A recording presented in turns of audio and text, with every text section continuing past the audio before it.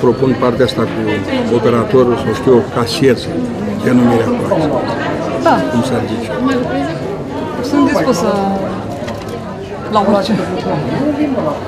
Urmează să primiți un telefon, știu eu, până la sfârșitul lunii, începutul aprilie, Bursa locurilor de muncă a fost organizată la Constanța cu o finanțare europeană. Proiectul Investește în oameni a permis celor interesați să beneficieze de servicii de sprijin și orientare pentru obținerea unui loc de muncă. Sute de constanțeni au consultat ofertele și au depus CV-uri. Cei mai mulți sunt șomeri, iar din 400 de lei trebuie să întrețină toată familia. De cât timp nu mai aveți un loc? de o lună de zile. Am fost dat în șomaj, sunt șomer cu acte în regulă. Și tot am căutat și nu am găsit. Acum am auzit de bursa asta și am venit. Au zis să merg acolo și atunci vom vedea la fața locului care sunt condițiile și negocierea, bănuiesc. La ce salariu vă aștept? 1200, 1300, 1400 ar fi bine. Mihai are 27 de ani și spune că a încercat să se angajeze în nenumărate rânduri. Pentru ca timpul să nu treacă fără folos, a urmat și cursuri de specializare. Diplome are, însă locul de muncă se lasă așteptat. Îmi caut de un an jumate un loc de muncă și nu am reușit. Ai găsit ceva aici care să, să-ți atragă atenția și care să fie perfect pentru studiile pe care le-ai absolvit? Locul de muncă ca recepționer hotel.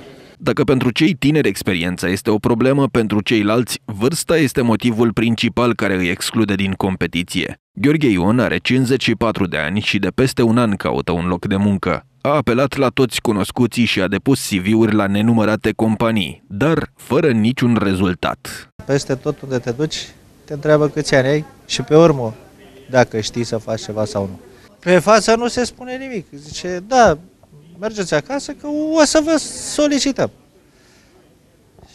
Și o să vă solicităm. Și în ziua de azi nu se mai pune preț pe efectiv pe ceea ce știi să faci. Cele 17 firme din Constanța au pus la dispoziția persoanelor interesate peste 500 de locuri de muncă. Se caută barmani, ospătari, brutari, cofetari, electricieni auto, consultanți asigurări și specialiști în domeniul securității. Criteriile pentru persoanele care doresc să uh, ocupe un post uh, ar fi în mare să fie cetățean român, să nu aibă antecedente penale, deci avem nevoie de un cazier judiciar la angajare, să fie apt din punct de vedere medical atunci când începe munca, da? și nu neapărat să fie calificat. Deci pentru agenți de securitate noi oferim și condiții de școlarizare, după discuțiile pe care le-am avut cu angajatorii, câțiva deja și-au recrutat, urmând să-i cheme la un al doilea interviu. În cadrul proiectului cu finanțare europeană sunt organizate cursuri de formare profesională și se desfășoară programe de dezvoltare personală.